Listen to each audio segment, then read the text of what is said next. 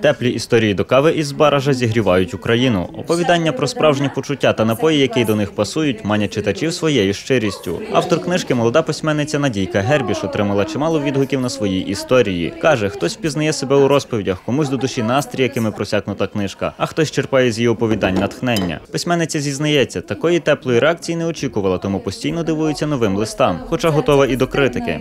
Напевно, все-таки навіть позитивних наразі більше. Чому кажу наразі? Бо я прекрасно усвідомлюю, що з часом буде більше негативу, коли ще вийде інша книжка, бо ну, в принципі, це нормальний процес.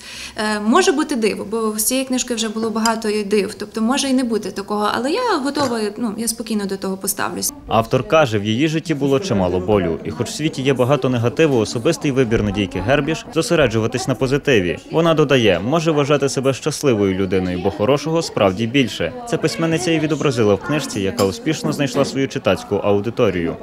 Жінки різного віку, жінки, які, які теж вміють теж бути теплими, бо прагнуть того тепла, які потребують того затишку, які не є цинічними. А якщо є цинічними, то всередині, то тільки зовні.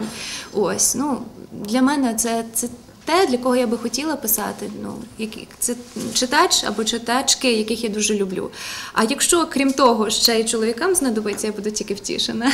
На львівському форумі видавців, на якому презентували видання, купили 600 примірників історії, і вони увійшли в список топ продажу. Перший наклад розійшовся за два тижні, тому доводилось додруковувати ще. А ще теплі історії до кави визнали європейською християнською книгою року 2012 в рамках Будапештського книжкового ярмарку.